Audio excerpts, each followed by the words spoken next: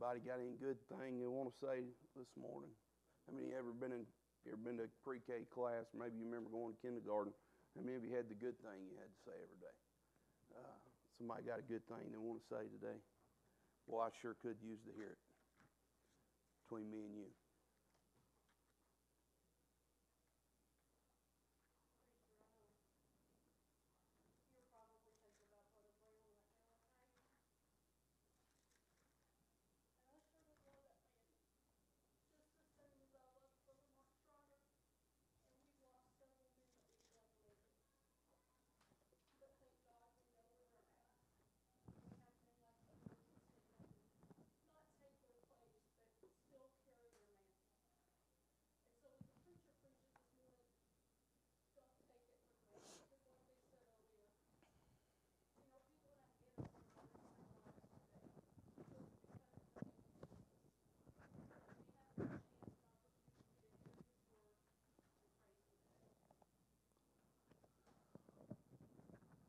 I'm starting to think, I'm starting to think God's showing mercy on all them old timers, taking them out of here.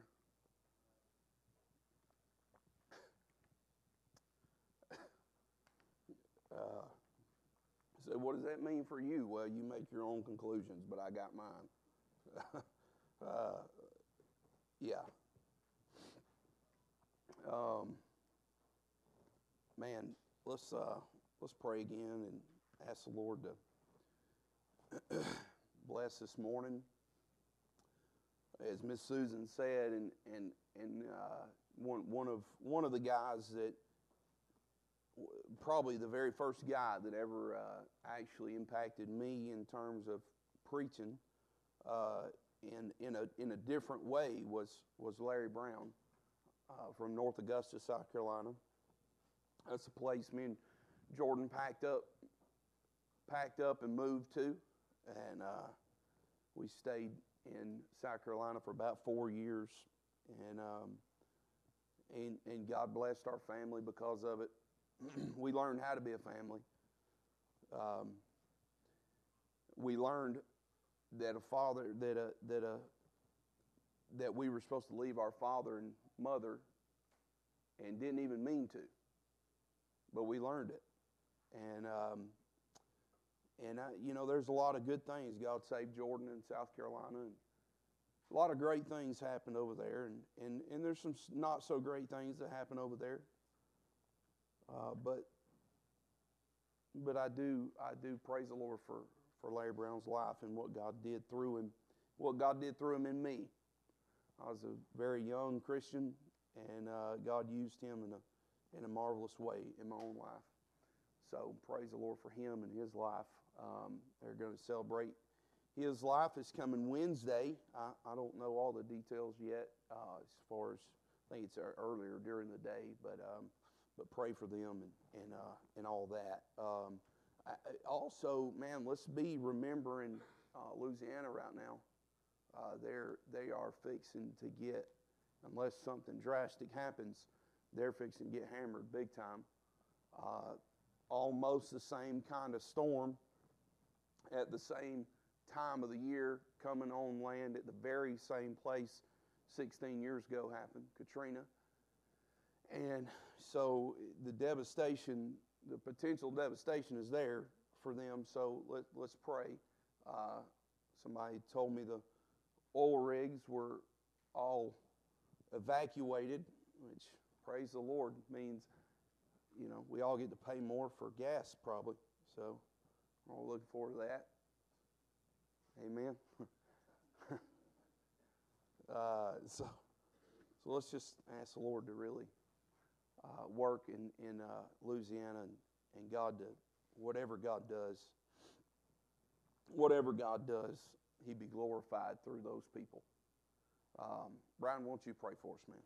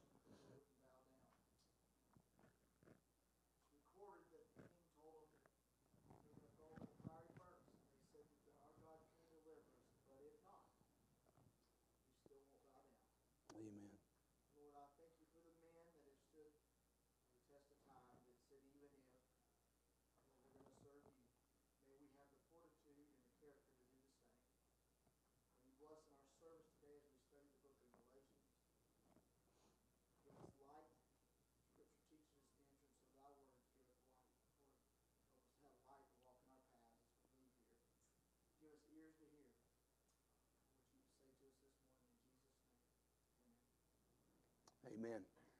Last week we looked at Galatians. The, the highlight of last week's sermon would be verse number four who gave himself for our sins that he might deliver us from this present evil world according to the will of, the, uh, according to the will of God and our Father. And last week, as we looked at the message that the Apostle Paul is trying to convey, that would essentially be the theme and set the stage for the entirety of the book of Galatians. The message being proclaimed is that God, through the giving of Himself for our sins, has given, has given us the ability. I want you to listen to this. This is, if you can get on board with verse number four and not apply verse number four in terms of God taking us to heaven, but God giving us the ability to be delivered from this present evil world. In other words, that, that His sacrifice has afforded us the opportunity to presently live in a new world while at the same time escaping the evil of living in this present time that we're in. That God has so separated us that you and I can live in a new world, being that we're already seated in heavenly places. That you and I can live in a completely different world and escape this world. Escape the evil of this world. Escape the corruption and the affections and the lust of this world. Now, the Galatians had a major problem and, and, and as much as they wanted to walk in this new world, it was really hard because there was a group of people that came along known as the Judaizers, and these Judaizers, as they come from the Jerusalem church to the churches at Galatia, they're stressing the need that the Gentiles need to be circumcised and they need to keep the law of Moses both for full acceptance and, and, and for the basis of all their Christian living, they, they must do these things. They must be circumcised and they must keep the law of Moses to make sure that they're fully accepted by God and, and that they can live this Christian life to the fullest. This is what they have to do. Now, we all know you, any, anything that says you can earn anything from God, what do we say it was? It's evil.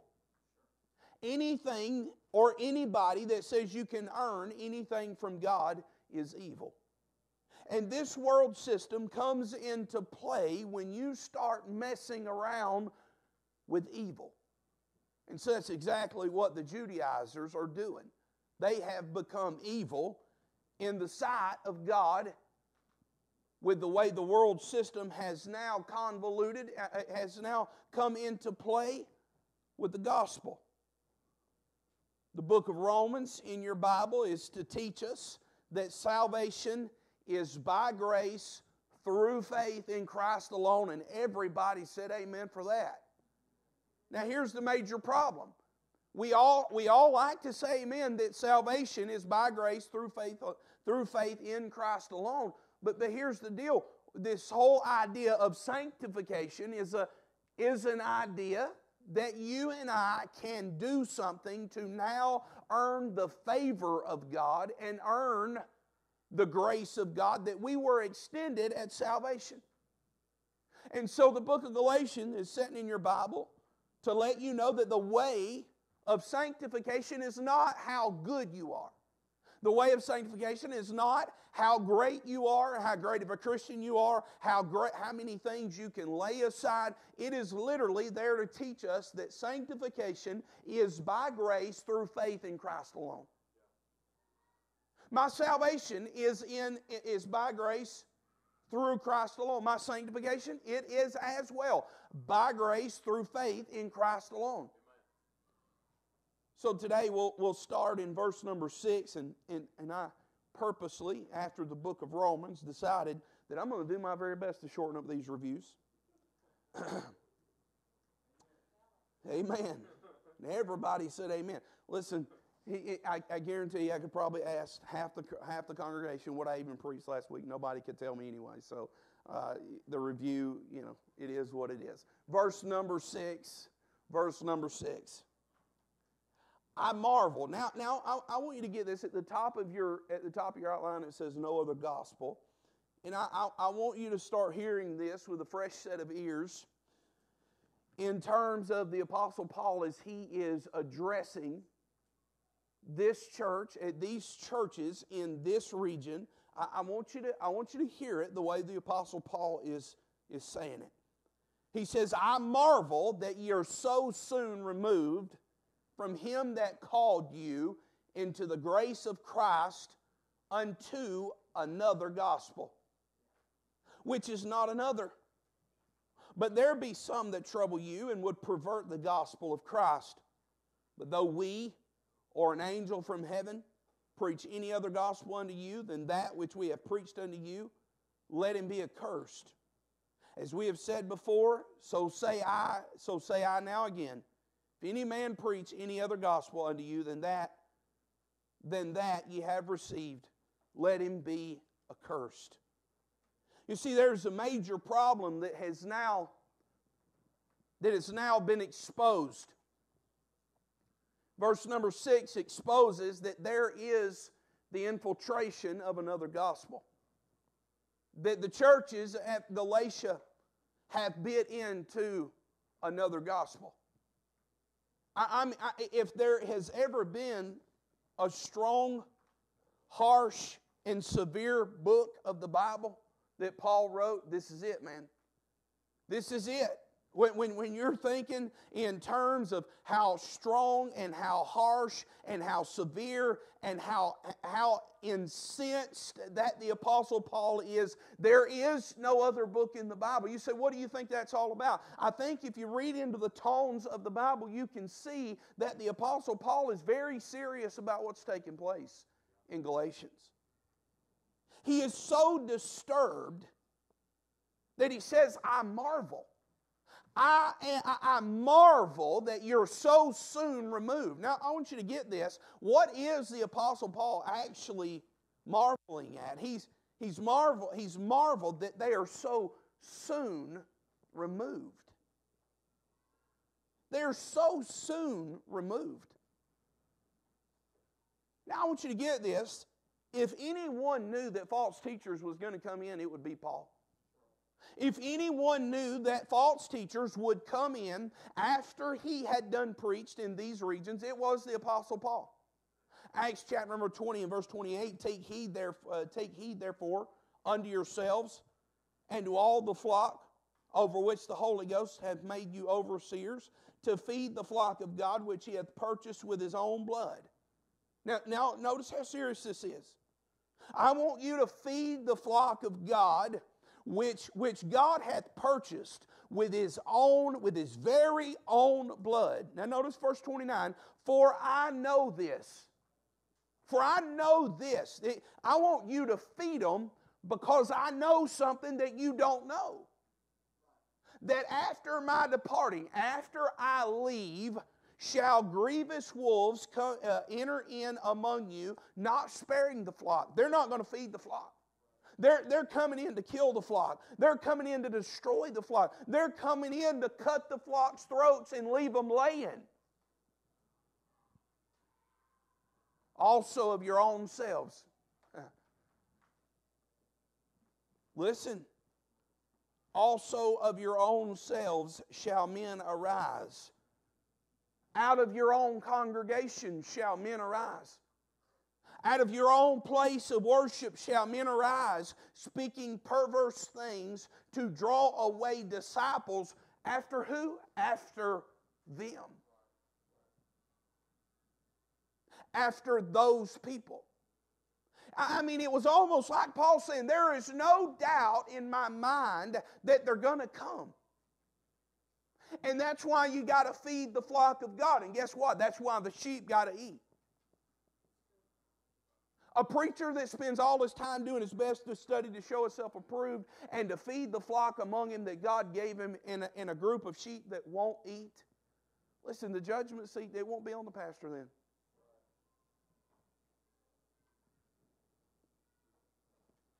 Look what he says in 2 Corinthians, verse number 11 For I am jealous over you with a godly jealousy, for I have espoused you to one husband, that I may present you a chaste virgin to Christ. But I fear lest by any means, as the serpent beguiled Eve, Eve through subtlety, so your minds should be corrupted from the simplicity that that is in Christ. The simplicity that is in Christ. Are you telling me that, that this thing is simple? Well, I'm telling you what the Bible says. Yeah, it's simple. The simplicity here is that it is in Christ. For if he cometh, for if he that cometh preacheth another Jesus,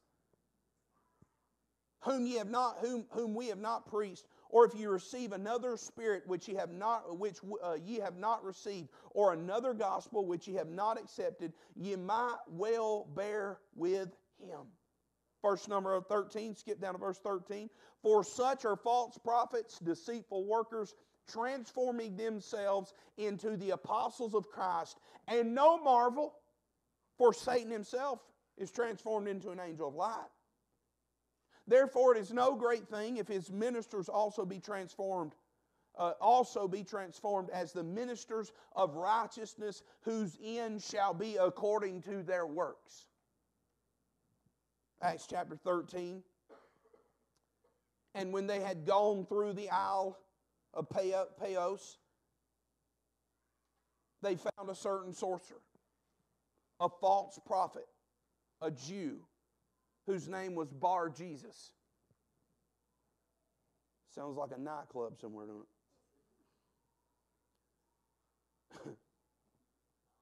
Which was with the deputy in the country of Sergius, Sergius Paulus, a prudent man, get this, who called for Barnabas and Saul and desired to hear the word of God. But Elymas, the sorcerer, for so is his name by interpretation, withstood them, seeking to turn away the deputy from the faith. Then Saul, who also is called Paul, filled with the Holy Ghost, set his eyes on him, and he, he had a real nice talk with him. He set his eyes on him and he set him down and he said, Look, man, I, I, I understand, you know, that me and you, we're, you know, we're probably, we think a little bit different about things. I, we think different, but man, listen, I think if me and you can come to a mutual understanding, that we'll be able to get along. To get along. I, I think we can come to a, a, a, a reasoning, if you would, Let's reason together and, and let's see if we can mesh the sorcery that you enjoy and what I, I, I really, I really enjoy Jesus. You know, we, we do spirit fingers and stuff at church. I really enjoy Jesus, and man, I'll tell you what, if we can mesh the two together, man, we can, oh, dude, can you imagine the church we could build? Oh, my goodness. We would build a structure like no other. And we could have thousands come in. And thousands come in. And man, we could just, we could just, long as we made sure that we didn't offend any, anybody, and we kept it, you know, Jesus, man, I, I think we'll do real good together. we all know that what he said. Verse number 10, when Paul set his eyes on him, he said, Oh, full of all subtlety and all mischief, thou child of the devil, thou enemy of all righteousness, wilt thou not cease to pervert the right ways of the Lord? He doesn't sound very ecumenical. He sounds one sided. He sounds like it's his way or the highway. He sounds like he's made a decision, he's drove a stake in the sand, and he said, I will not move. It sounds like he's come to an adequate conclusion that he's willing to die for. Well, that's it's not really the way of 2021. It's not really the way that we work. We work by acceptance. We work by making sure that everybody is loved and everybody is accepted. Well, friend, I got news for you. Somebody has got to be wrong. There's going to be winners and there's going to be losers. And the Apostle Paul is calling out false teachers for what they are. There's four characteristics found in verse number 10 of false teachers. Number one, they're extremely deceitful. They're extremely deceitful. Number two, they're children of the devil. Number three, they're enemies of righteousness. Number four, they're perverters of truth. Paul knew that false teachers were going to come in. Paul knew that false teachers were going to come in, but that's not what is so disturbing to Paul. What got Paul is that he could not believe that without even a fight, they were removed from the gospel that they were set in. Without even so much as a fight. I mean, without even so much as, as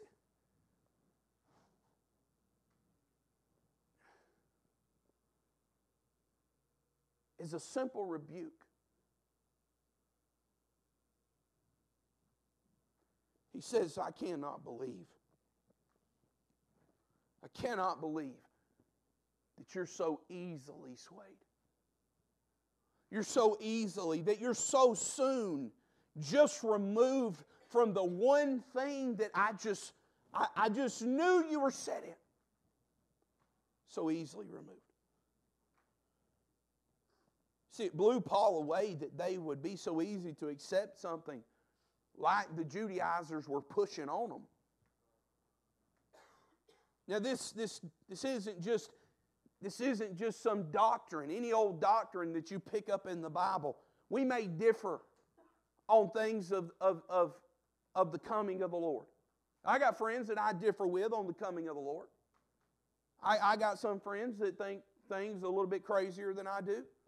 I may differ on some things with, with people, but, but this is this, hey, this is the hallmark of our faith. Literally, Paul is so disturbed. Why? What, friend, I want you to listen to me. This could be the end of faith as they knew it. Do, do, you get that? This could be the end of the faith. Like no more faith in Jesus Christ without adding works to it.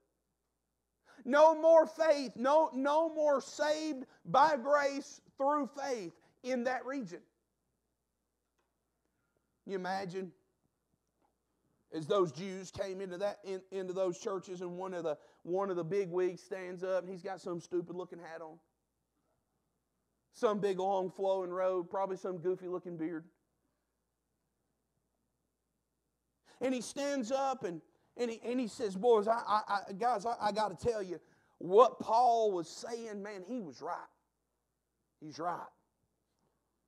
He, man, I, you know, uh, listen, because here, here's the way this goes. Here's the way false teachers go. They're not going to come in and they're not going to say that Jesus is not the Christ. They're not going to come in they're not going to say those words. They're not going to come in and they're, going, they're not going to blow Jesus out of the water. What they're going to do, though, is they're going to come in and they're going to say, man, all that's good. And you need that. You need that. You need what Paul said.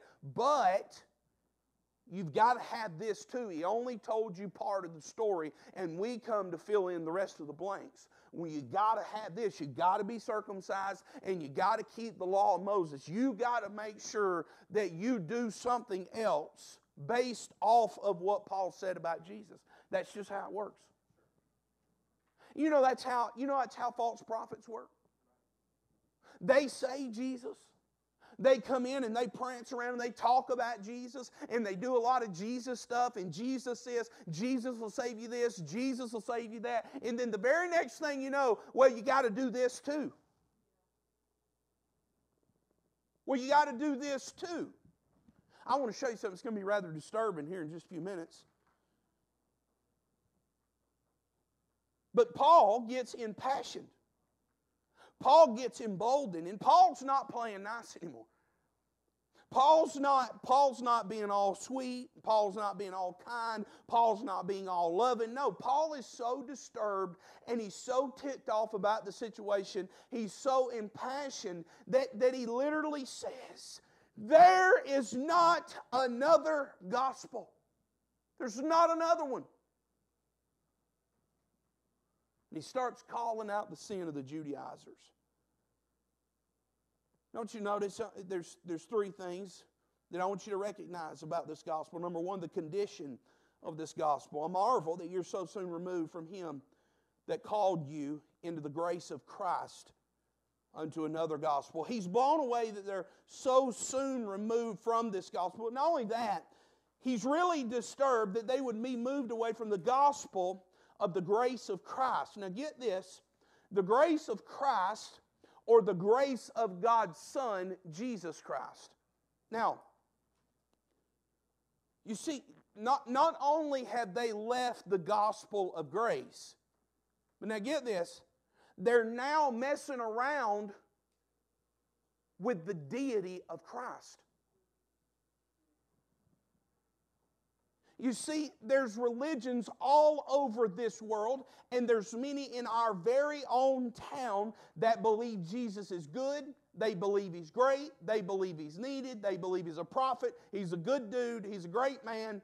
But he's just not God's son. Do you get, the, do you get this? I, am I'm, I'm blown away that you're moved from the grace of, he doesn't say Jesus, he says Christ, the Christ, the deliverer, the Messiah, God's Son. I'm blown away that you're moved away from what you said. You, you said you believed that this was God's only begotten Son. And, and now, you're, now, now you've left it. Now you're abandoning it.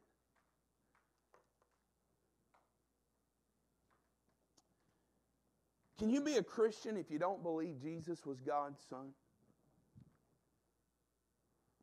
That's a big question, right? It's a big question.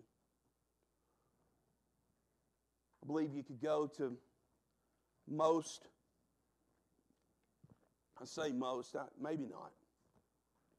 Maybe there's churches all around this county, probably some of the smaller ones. And you could go ask the congregation, the majority of the congregations in these churches, can you be a Christian if you don't believe Jesus is God's Son? And you know what they're going to say? They're going to say no. But I, I, would, I would dare say that there's a lot. There's a lot of people pleasing. There's a lot of there's a lot of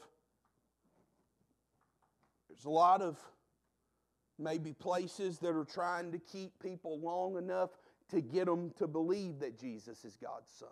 Maybe that's what they're doing. Maybe they're maybe maybe they've maybe they've used means to get people there to, to keep them there long enough to get them to convince them to believe that Jesus is God's son. But but I want to ask you, can, can you be a Christian if you don't believe Jesus was God's son? The answer is absolutely, positively no. Very first thing you can do in order to understand the gospel is to believe that Jesus was God's Son. And the attack on Jesus' deity is the biggest thing that you and I are going to face in the future. The, the attack on was this man named Jesus Christ really God's Son? You see, if you answer if you answer, yeah, I think you could be a Christian, well, you're no different than a Mormon. You're no different than a, than a Latter day Saint. You're no different than a Jehovah's Witness. You're no different than any of those false religions if you have not come to a place that you have understood that Jesus Christ was God's sinless Son, made in the likeness of man who gave himself for our sin. And that don't do nothing for you guys, I guess. let's talk about the attack on, the, on this gospel. The attack on this gospel, which, verse number seven, which is not another, but there some be that tr- there, there be some that trouble you and would pervert the gospel of Christ. They came in, they perverted the gospel, but how did they do it? That's the big thing. How did they do it? The Bible says that they did it by troubling some of them. They did it by troubling them. They did it by coming and agreeing with what Paul said in premise and theory. But really, when it all goes back to making sure, what it all goes back to is making sure that they do all that they can to help God out. To make sure that they help God and, and, and, and, and not just help God out, but make sure that they help themselves to get into heaven.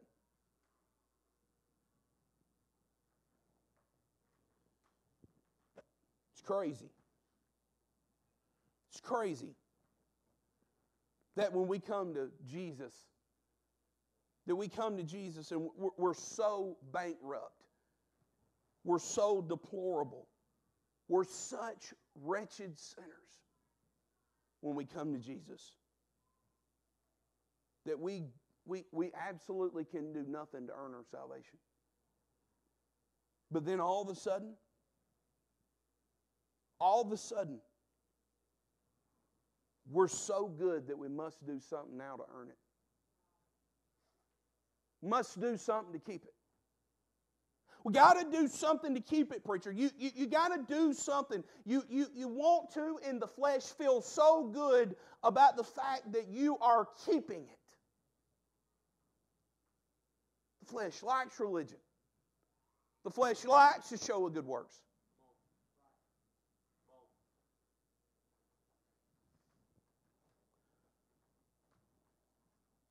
I pulled this off a site. One of the one of the, the, the I guess the biggest religious group of people in the world or in America. We'll say in America. I get uh, probably the world, but we'll just use this for in America. Underneath the title of Christianity, they have they have taken they have taken some lingo, if you would, and made it their own and tried to apply it in order to help God out in terms of keeping their salvation. There's a group that has seven sacraments. A lot of these churches you can find around Paulding County. The traditional definition, I think it's in your outline, the traditional definition of a sacrament is this a sacrament is a visible sign instituted by Christ to give grace. Within this definition, there are three important statements. Number one, a visible sign. An action, an action is performed. Now, this is not in there, but it's on the screen. An action performed by a minister, usually a priest. For example, when a baby is baptized in the church, the priest pours water over its head and at the same time says the words, I baptize you in the name of the Father and of the Son and of the Holy Ghost. This is a visible sign. Instituted by Christ. Lord Jesus Christ instructed his, his church to offer the seven sacraments to, to his followers. Did he? I missed that one. For example, his directive to his disciples in Matthew, in Matthew's Gospel, 28 19, go tell, that's not our verse, but it's in there. Sacraments. I guess they pulled sacraments out of there. To give grace, third statement, to give grace. God is, grace is God's free gift of Himself as the controlling influence in our life and the decisions we make once we have committed ourselves to Him in faith. Now, that sounds pretty good, right? Don't that sound pretty? That sounds pretty spiritual. That sounds okay. In, in, but here it is. In summary, a sacrament is one of the means God has chosen to influence our life in the direction of His purpose for, uh, for giving us life. The seven sacraments are baptism, reconciliation, Eucharist, confirmation, matrimony, anointing the sick, and holy orders. Those are the seven sacraments of the Catholic Church. Now, I, I, want, I, want, I want you to look. I want you to look at something that I, as I'm looking up these sacraments, I just thought, man, we probably need to hit a couple of them just so you can see them. Go to the next slide, Brother Charlie. Baptism marks the entry. You, you may say, I, let, me, let me say this. You may say there's no need for us to examine other tenets of other faiths. And you're going to put us all up under one big, hunky dory title Friend, I'm going to tell you something. Before you put me under one title with a whole group of people, I'll go back to 1963 Brushy Mountain Road and I'll raise my five kids and love my wife and get me a job that pays better than this one does. But I'm not going under the guise of any other religion with the same and tying my name to it. You say, how serious is it? There's a whole group of people, and if they really believe this, they are going to die and bust hell wide open. By the droves. And guess what? Their grandmas did, their great grandmas did, their great great grandmas did. If they believe this. You say, why are you so upset about this? I'm upset about it because I'm tired of being lumped in with a group of people that is preaching another gospel and thinking that I'm the same. Well, Brother you sure are a, a mean preacher. Yeah, probably so. Baptism marks the entry. Check it out. Baptism marks the entry of the believer into the Christian community. Along with confirmation, along, let's make sure we don't, we don't miss the words, along with confirmation and, and Eucharist it is one of the sacraments of initiation, of initiation giving access to the full sacramental life of the church. All right, go, go to the next slide, Brother Charlie. Through baptism, we are freed from sin and joined with Christ. Now, are we talking about water baptism? Or are we talking about being baptized into Jesus Christ? I'm going to say we're talking about water baptism at this point because we're fixing to get to somebody pouring water over our head, and we just got done with baby baptism, which is as fake as the day is long. But needless, we'll go on.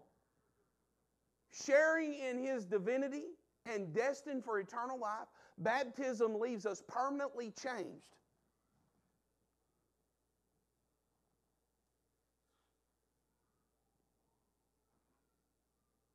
Really?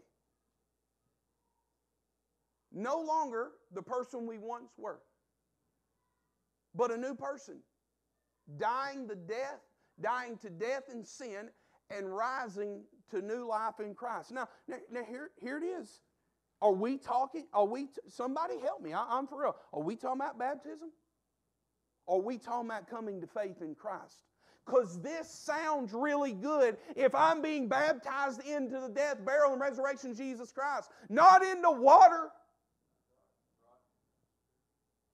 Not into a dude with a funny looking robe on pouring water over my head like I'm taking a bath. Amen? Is everybody tracking with me or not? I mean, you, you say, well, you, maybe, maybe, you're thinking I'm, too, I'm, I'm, running a close line here or something. I don't know. Uh, go to the next one, Brother Charlie. In other words, uh, excuse me, in the words of uh, the Apostle Paul, here, it is. Let's make sure we take the Bible and we apply it to water baptism. We are buried with him through baptism into death in, in the order that just as Christ was raised from the dead through the glory of the Father, so too, we, so too may we live a new life. Romans 6 4.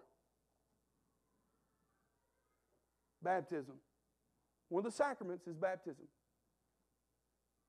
Can somebody tell me we're talking about water baptism or, or, or being spiritually baptized into Christ? What are they talking about? Does anybody know? Water baptism. The rite, the rite consists of what rite? The rite we just got done talking about, which makes me a brand new person, evidently. The rite consists of pouring water over the head while saying the Trinitarian formula.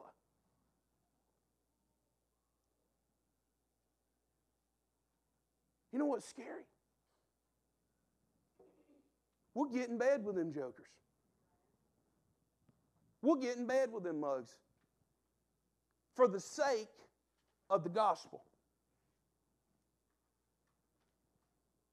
That's, he said, brother, y'all are so y'all are so narrow-minded. Y'all are so secluded. Y'all, you know why? Because this garbage right here. That's why. Because some dude decided that he was going to take the Bible and butcher it, and he's going to tag, he, he's going to make being baptized in Christ, he's going to he's going to turn it into to having water poured over our heads.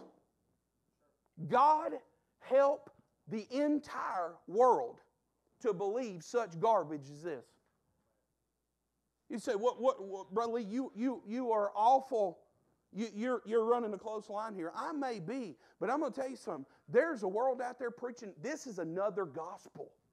This is another gospel. This is not real. This is fake. This is false. This is get out of the way. The train is going to run you over. What, what about the Eucharist?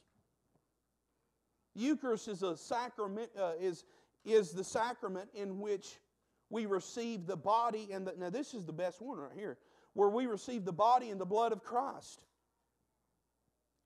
The church teaches, that this is not, this is not our church, BTW, that Christ is really present in the bread and the wine that ye have that have been consecrated by the priest at Mass. Although the bread and wine, here it is, you ready? Man, this is a magic trick in and of itself. Although the bread and the wine, they still look and taste like bread and wine. I'm talking about magic show fixing to happen right here. The substance. Ready? What is actually there somewhere in the uh, esophageal reason, region, it changes. It's been changed. It turns into flesh of Jesus and it turns into blood of Jesus. And if anybody wants to know, this is the greatest thing Francis Chan ever heard, evidently. You knew it was coming, Brother Dillon.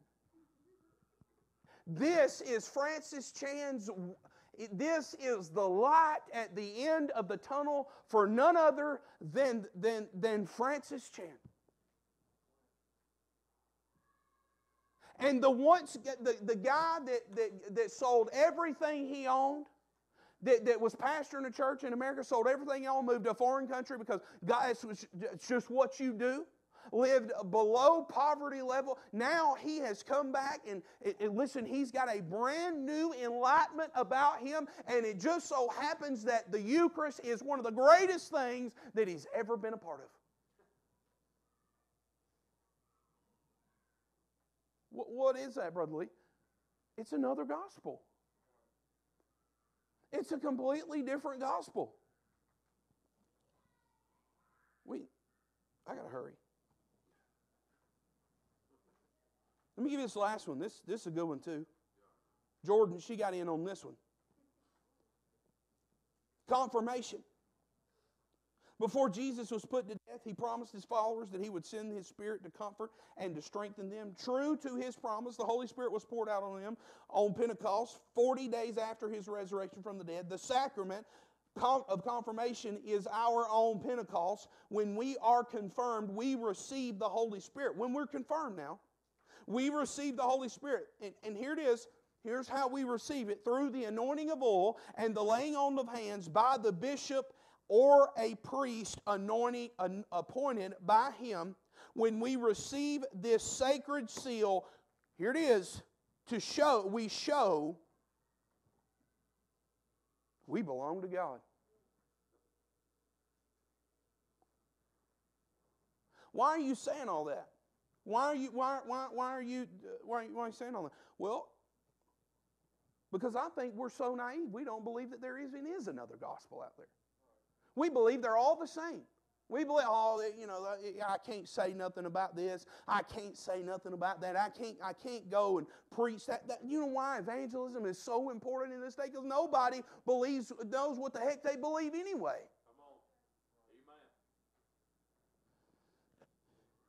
Me give you one more and I'll, I'll roll it up. There's a group out there called the Protestant Church. They broke off from they, they one day, I don't know how, one day they picked up a Bible and they started reading Romans and Galatians. And, and, and a guy got a holy burn within him and said, No, this ain't right, boys.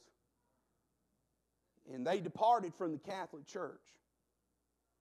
They realized they'd been teaching heresy, but, but they're, they still had a little bit in them of what they came out of. So they broke off as they broke off, they somehow or another, they adopt this, this whole deal that would put something on man to ensure his salvation is secure. And they, they have a point, they have a, a, a designated slot for it, and it's called enduring to the end.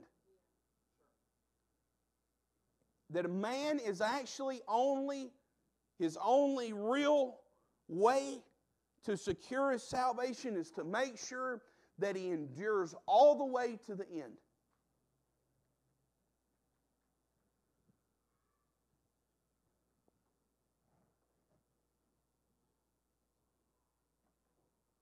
If you endure to the end, you're in the family of God. If you endure to the end, hey, you know what? You, you, you must be the real deal. And we got to make sure that we do everything we can to make sure that you endure to the end because then you prove that you are, in fact, in the family of God. Now, why is that so wrong? Well, because Ephesians 2 is in the Bible. For by grace are you saved through faith. And that not of yourself. It is the gift of God. Not of works, lest any stinking man should boast being justified, Romans 3, being justified freely by His grace through the redemption that is in Christ Jesus, not in the enduring of your own faith. Titus 3 and verse number 5, not by works of righteousness which we have done, but according to his mercy hath he, uh, according to his mercy he saved us by the washing of regeneration and the renewing of the Holy Ghost. Romans 4 and verse 5, but to him that worketh not but believeth on him that justifieth the ungodly, his faith is counted for righteousness. let me give you this last one, and, and, and I promise, uh, Daniel, you can come on whenever you get ready. Lastly, is the severity of the gospel, of this gospel. The severity of this gospel. But though we or an angel from heaven preach any other gospel unto you than that which we have preached, let him be accursed we said before, so I say now again, if any man preach any other gospel unto you than that that you have received, let him be accursed. If any if he comes and he preaches anything other than this gospel, let him be accursed. This word accursed means damned.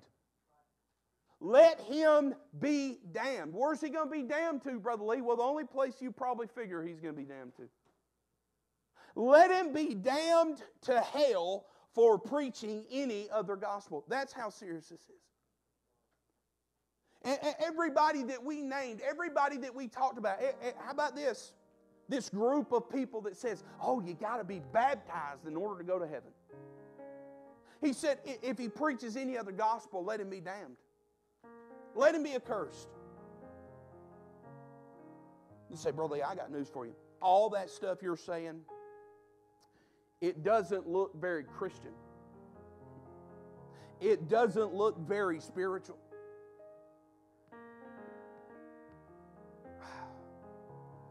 I'll be honest with you, man. I've been to bookstores and I've seen what spiritual and Christian looks like these days. Whether you believe it or not, Joel Osteen's spiritual. Joel Osteen's Christian. You ever got a hold of any of his stuff? Just stumbled up on it. You and I, you know, is what it is. I'm not. I'm not real interested. in. in I'm, I'm, I'll be 40 this year, and as I get closer to the rapture, I get closer to the ending of my life. My kids are getting older, and I see. I see what I've got to be for my children.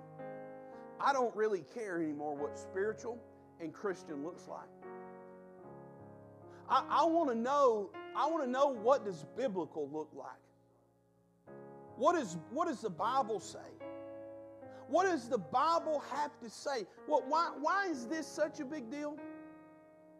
I want you to notice the consequences. Real quick, I want you to notice the consequences. And it came to pass that the beggar died and was carried by the angels into Abraham's bosom. The rich man died also and was buried.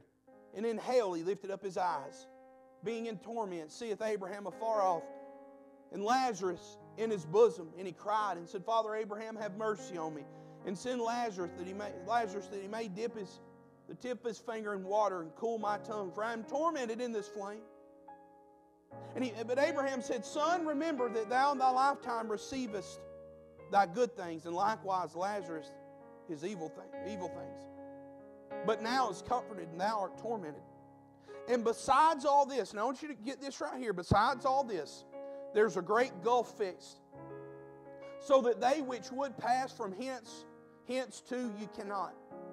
Neither can they pass to us that would come from thence. Then he said, I pray thee therefore. Here's how bad this was. Father, that thou wouldest also come, uh, I pray thee therefore that thou wouldest send to my send him to my father's house. You ready? For I have five brethren, that he may testify unto them, lest also, lest also come into this place of torment. Notice what Abraham says. He says, uh, They have Moses and the prophets. Let them hear them. They have Moses and the prophets. Let, let them hear them. Let them hear the word of God. And he said, Nay, Father Abraham, but if one went, if one went unto them from the dead, they will repent. And he said, If they hear not Moses and the prophets, neither will they be persuaded, though one rise, though one rose from the dead. Get, get it and get it good. Get it and get it good, man. God is, God is very adamant that biblical, biblical is better than supernatural miracles happening right before lost people's eyes. Are, are, you hearing me? God is saying, even if I let one rise from the very grave out of the ground and they laid their eyes on them, lost, if they won't hear Moses and the prophets, there's no sense in me sending one back from the dead. Friend, you know there's a whole world out there looking for something. God, do some miracle, and I'll believe you. God, do this. God, do that. You see, the consequences are this that people are going to die and they're going to end up in the same place the rich man ended up because somebody wouldn't bear down and study to show themselves approved and preach the stinking whole counsel of God.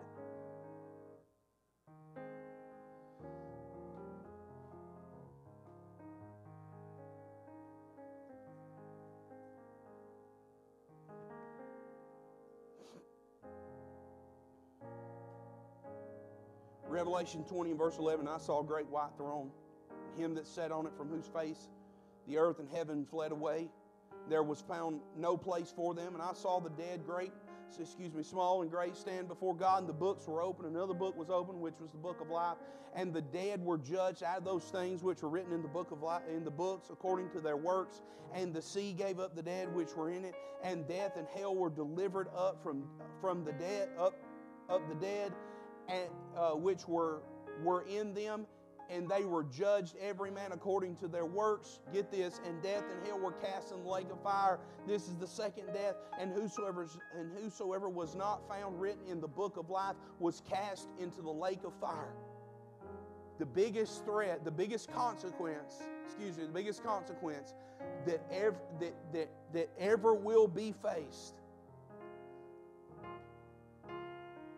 That false prophets propagating another gospel, it's going to be a whole group of people. And they're going to step out. They're going to step out into eternity having believed that this baptismal ceremony, this baptismal rite, actually got them into the kingdom of God. Having believed that they got to participate in all seven sacraments. Having believed that they have to go through a, a, a class, a confirmation class to confirm them, and for them to finally receive the Holy Ghost and to seal them.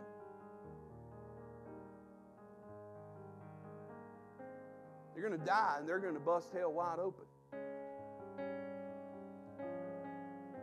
The threat here is this One day there's going to be a guy. He's going to step out on the scene.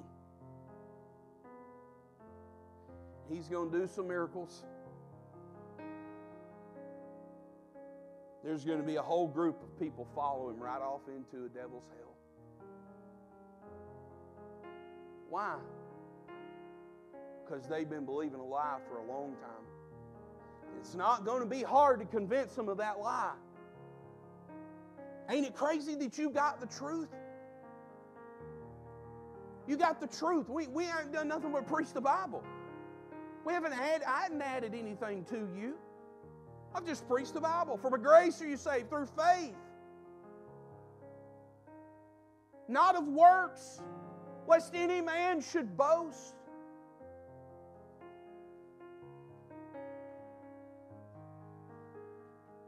You know, what the, you know what's wrong with the modern day church? You know what's wrong with 2021's church? I get it. I, I'm, I'm, you know, I got this personality that, that I don't necessarily always like. I get it. Not everybody's built like me, but you know what the, you know what the church's biggest problem is? They're weak. They're stinking weak.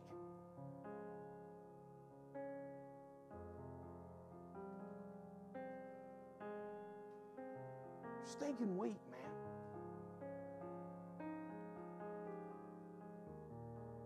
Won't call it for what it is. Scared to call it for what it is. Got a backbone like a ramen noodle. Won't call it for what it is. I, I can't help but think about David's brothers. David's brothers, David comes down. He hears about he hears about the Philistine defying the armies of the living God. What does he do? He comes down. First thing his brothers say, what, what, hey, where, where is those few sheep that you had? Where, where's those, where's those, why camest thou down hither? And with whom hast thou left those few sheep? What, what, what, what are you doing down here? And, and David makes the statement what have I done? What have I now done? And he, and he says, Is there not a cause? Friend, I got to ask you. While we're standing around quivering in our shoes, is there not a cause to stand up and preach the real gospel? You say, Well, I, I don't know, about, know anybody that's in a fake one. You, you probably don't know many that's in a real one. That's just the truth of the matter. Well, everybody I know, I know we're in the South. We're in the Bible Belt. We're in the Bible Belt. The, the, the, we need to take the belt off and beat the South to death with it. Is there not a cause? Is there not a cause? We're we going to stand and we're going to, we're going to let false prophets come in into this church? I don't think we ever would in this church, but you know what? That doesn't mean they're not going to try. I don't think that there's I don't think there's a group of people in here that would adhere and get on board with false prophets. But let me tell you, that don't mean they ain't gonna try. That don't mean they are not going to rock the boat. That doesn't mean that they're not going to come in as grievous wolves and try to try to tear the flock of God apart. Now you gotta you got to make the decision though. Is there a cause? You got friends that are going to die and go to hell in their own man-made religion. You got friends, you got people you know, and man, if something don't happen, God don't change their life. God don't get in the midst of everything that they got going on. Listen, they're going to die and they're going to suffer a Christless eternity. It's not bad because there's flames. It's bad because Jesus ain't there. It's bad because there's no deliverer. It's bad because there's no Messiah. It's not bad because there's a worm there and it dieth not. It's bad because there's no Messiah. There's no deliverer. It's not bad because it's dark. It's not bad because there's weeping. It's not bad because there's people gnashing on on people in hell with their teeth. It's not bad because of all that. It's bad because there's nobody to deliver them from the weeping and the wailing and the gnashing of teeth. It's bad because there's nobody to deliver them from the darkness. It's bad because there's nobody to deliver them from the fire. There is no God. There is no love. There's only evil. There's only hate. There's only the despising of man. It's bad because there is no Christ. There is no gospel. And we got to decide. We got to decide. Now, I will say the rest of this book is not so much geared towards a false gospel as much as it is for, for those entrenched in religious activity. But this morning, you got to decide who you're going to be. You got to decide who you going to be. You going you going to keep playing with sin? You going to let your friends jump off into hell while you play with sin? You going you going to keep playing the role and you going to keep coming to church? You going to keep being a good church kid? Kids in this room, teenagers in this, you going to keep being good church kids? Are you going to decide I'm not I'm not just going to be a church kid. I'm going to be a soul winner. Let's do this. Every head bowed. I wonder if there's somebody in here and you say, Man, Brother Lee, I, I need you to pray for me. I want you to pray for me. I got some things in my life. I, I, maybe, maybe you need to come. If you want to come, you can come home. But maybe, maybe there's some things in your life, and you say, Brother Lee, if I, if I'm honest, there's people in my life that have bought in, and it's just religion. They bought into religion. They bought into good works. They bought into things that make them feel good about themselves. And it has nothing to do with the gospel of the grace of Jesus Christ. You say, man, I, I want you to pray for me that I'd be emboldened enough to witness to them this week. Would you slide your hand up right there?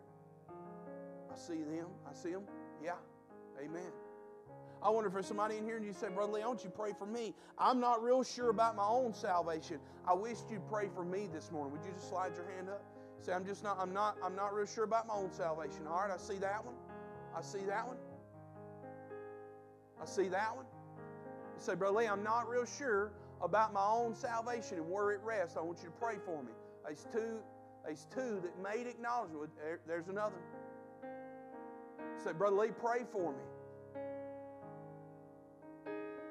I wonder, I, I wonder how many Christians, and listen, if you can't have a burden for lost people enough to say, you know what, I, I, want, I want to get serious about my burden for lost people. If you can't have, if you can't have that burden and get serious about it, and I wonder where you stand. I wonder how carnal your life really is. I wonder how self absorbed and self consumed you really are with life. I wonder how many of you, you say, Brother Lee, I, th- this, this is for you in this room. You, you know where your salvation is. You got lost people in your life. They are consumed with another gospel. They have believed in religion for far too long. And it, hey, listen, you can be a good Baptist and lost.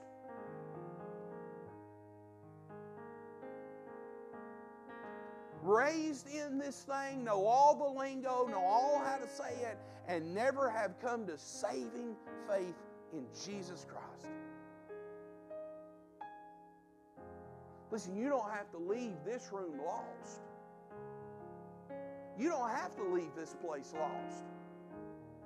You don't have to leave not knowing the gospel of grace, the grace of God. You're in here and say, Brother Lee, I, I, I just, I'm, I'm going to come find me a place in this altar. I'm saved, I know that I am. I'm going to come find me a place in this altar, and I'm, I'm, I, I need, I got some, some specifics that I need to pray about this morning. And, and, and I want you to come. You come right now. You get out of your seat. You find you a place here in this altar. Say, Look, preacher, I'm coming because I got some things in my own life, some people in my own life, but I want to come and I want to make a public declaration. Look, I, I'm, I'm here making this declaration. I wonder, maybe you're in here, you're a Christian, say, I ain't got no reason to really come pray. I wonder how many of you come pray for the lost people that are in this room right now. You get out of your seat, you find your place here in this altar. You, you want to pray for lost people in this room that publicly acknowledge they're lost. They're unsure about their own salvation. You're in here, every head bowed. Just keep them that way.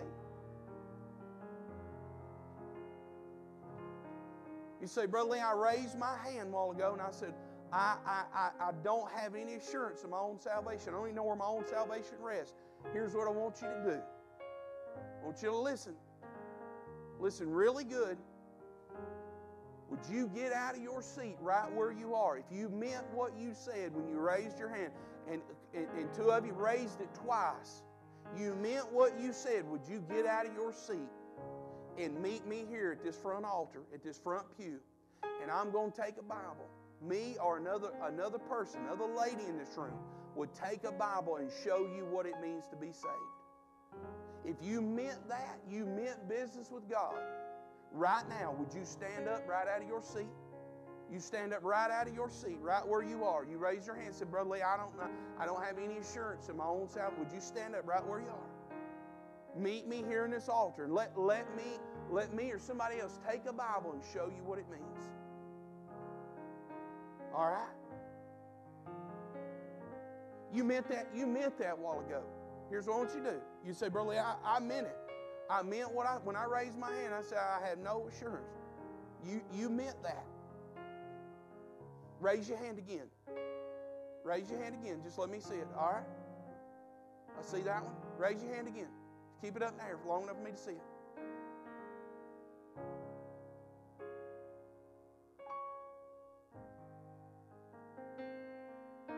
Now, I want you to do one more thing. I want you to look at me Just look at me.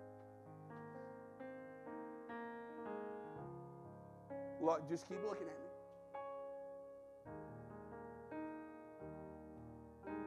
There ain't no, there ain't no better day than you to do what you need to do today. Whatever you got going on, whatever it is in life, whatever's keeping you where you're at, abandon that, abandon all that junk, and right now make the deciding decision that I'm not going to keep doing what I've been doing.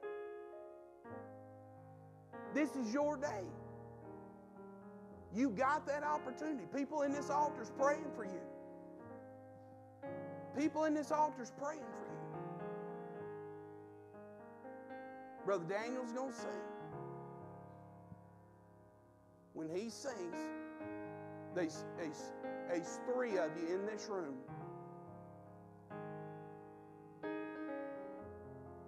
by your own admission, there's three of you in this room, by your own admission, if you die right now, you have no assurance of your own salvation.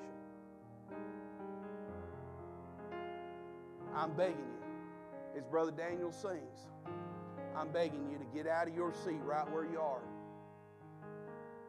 There's no other gospel but this one that'll save you. Get out of your seat right where you are me or somebody else will take a Bible and show you what it means to have complete assurance in your own faith, in your own salvation. Go ahead, Brother Daniel. See the voice of love that's calling. There's a cheer wait for you. Come on. And there's a friend who understands everything you're going through.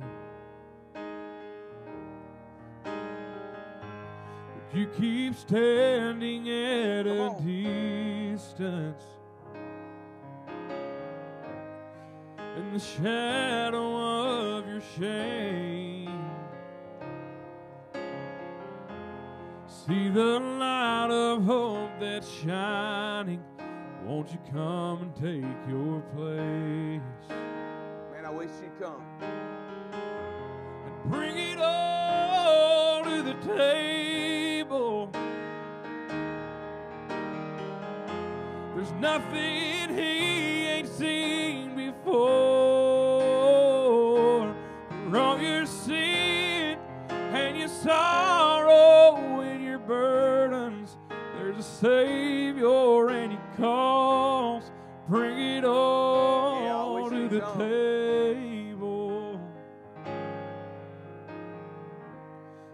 Can see the weight you carry and the fears that hold your heart. And through the cross, you've been forgiven. You're accepted as you are. So bring it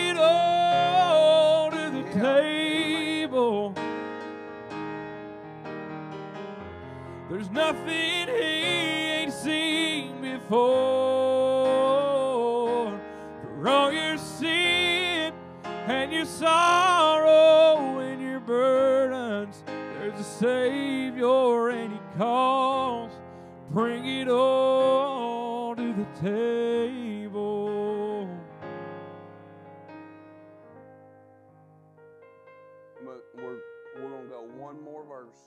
You come or you don't come, whatever it is. Uh, well, here's here's how we're gonna do this. We're gonna sing Amazing Grace. One verse. You want to come? There's some of you in here, and and you may need to come for various reasons. But I I am I am begging you. If you got something you need to do with the Lord this morning, God, God is working and God is moving and God in your own heart, in my heart, in other hearts in this room. Man, I, I just wouldn't gamble. I just wouldn't I wouldn't chance it. I wouldn't I wouldn't I wouldn't mess I wouldn't mess with God right now. One more shot. One more verse.